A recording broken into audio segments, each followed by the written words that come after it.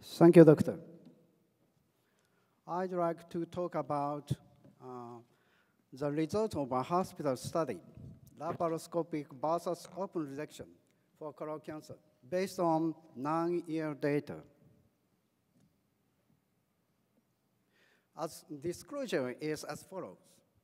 Our aim was to compare the long-term outcome of LAC versus OC for non-metastatic colon cancers. From January 2003 to December 2011, all patients with adenocarcinoma of the colon were assessed for entry. Adjuvant chemotherapy and post-operative follow-up were similar in both groups. Here is the exclusion criteria and the statistical analysis. This slide shows our trial profile. We have data on 1,065 patients. After various exclusions, we performed LAC on 299 cases, NOC on 240 cases. Here are the patient baselines. No relevant differences were noted between the two in terms of sex and location of primary tumor numbers, except for age, ASA, and previous abdominal surgery. The next two slides are details of our, our pathology report. Mm, type 2 and mucinous in histopathology type, tumor size and the lymph nodes uh, resected specimen was significantly higher in OC group. There was no significant differences in resection margins. Number of T34 and N12 in the stage 2 and 3 are significantly higher in OC group. However, number of R0 were significantly higher in LAC group. Here's the result. Blood loss, fluid intake, hospital stay, and analgesic use was significantly better in the LAC group. There were no major differences in operation time. Overall complications were significantly lower in the LAC group. Bowel obstruction and wound infection were also lower in the LAC group. There were no significant differences in anastomotic leakage, abdominal wall hernia, reoperation rate, and 30-day mortality. When patient was stratified according to the tumor stage, stage 3B and the stage 3 recurrence rate was significantly lower in the LAC group. Overall survival was significantly higher in stage 1 in the LAC group. There was a tendency of higher overall survival in stage 2 and 3 in the LAC group. Disease-free survival was significantly higher in all stages in the LAC group. Our results indicate that our outcomes were significantly uh, better in the LAC group. As you know, race pronounced these oncological advantages.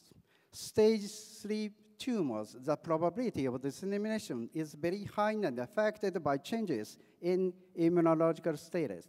This could be explained by preserved cellular immunity, attenuated stress, inflammatory response, minimal tumor handling, and the lower complication rate in patients treated by LAC. Our findings are as follows. One, the survival benefit were more pronounced in patients with stage 3 tumors. This confirms RACE's findings.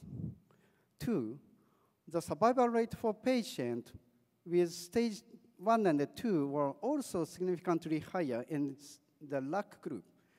This reassurance that causes NEHAM to patients in all stages allows us to look to future use of minimally invasive procedures.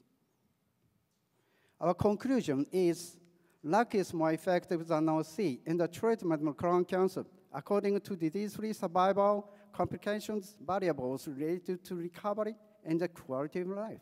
That's all I have to say. Thank you very much for your listening.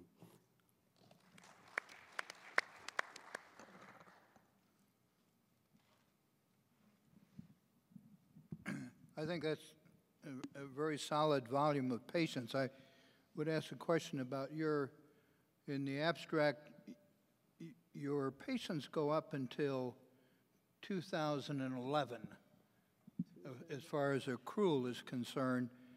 Uh, But you- you're talking about long-term survival. How ma- many patients are you comparing here that have been less than five years post-operation?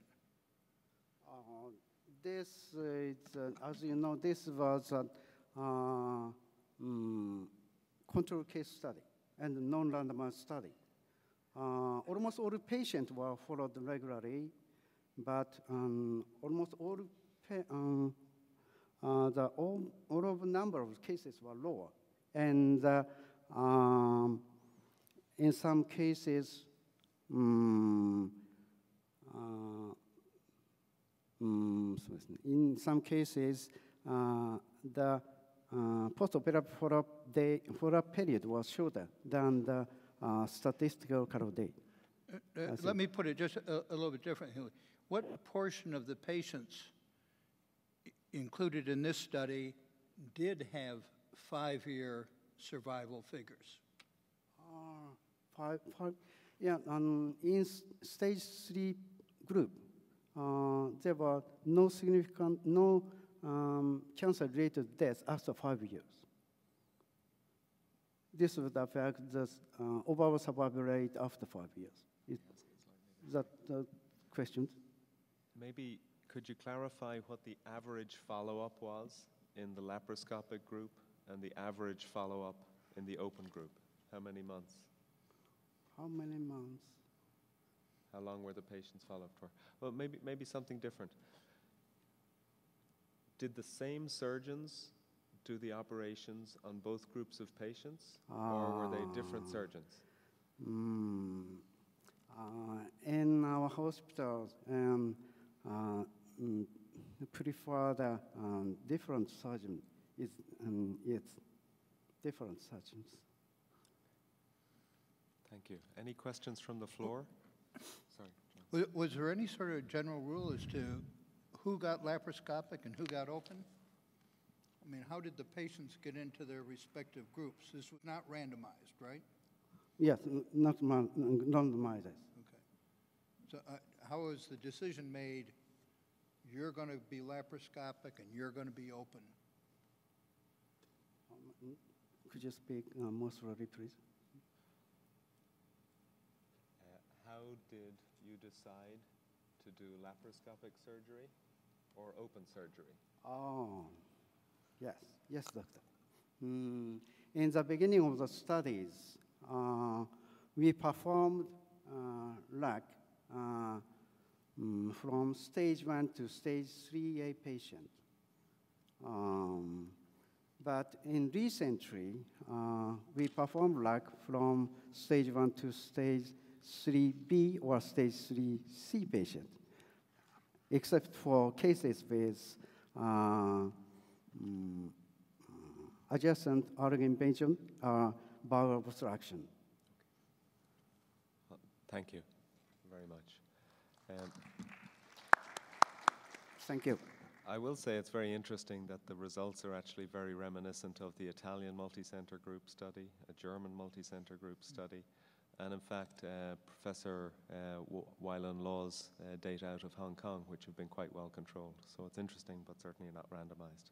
Thank you.